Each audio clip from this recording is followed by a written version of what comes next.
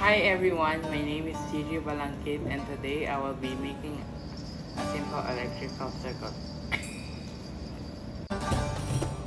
You need the following materials. 2.5 bulb, bulb socket, 2 AA batteries, switch, battery holder, screwdriver, and a cardboard, and a glue gun. First, you have to make sure that the bulb is working.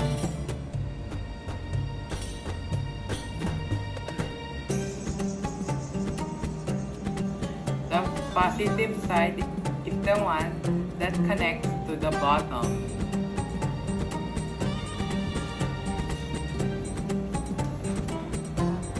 Negative side is connected directly to the side. For the color coding, the red wire is the positive and the black is the negative. Start connecting the negative wire to the side of the socket. If needed, you may use a box cutter to make your exposed wire longer.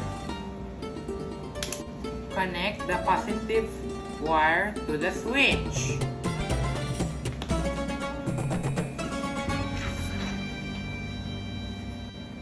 Insert the wire through the hole the bottom of the switch. Check your work again. The negative wire must be connected directly to the negative side of the socket. The positive wire must pass through the switch. Turn on and off the switch. The battery circuit gives energy too. Turn on and off the switch. The, the battery in a circuit gives energy to the electrons and pushes them around a circuit from the negative terminal of the cell around the circuit and back to the positive terminal of the cell.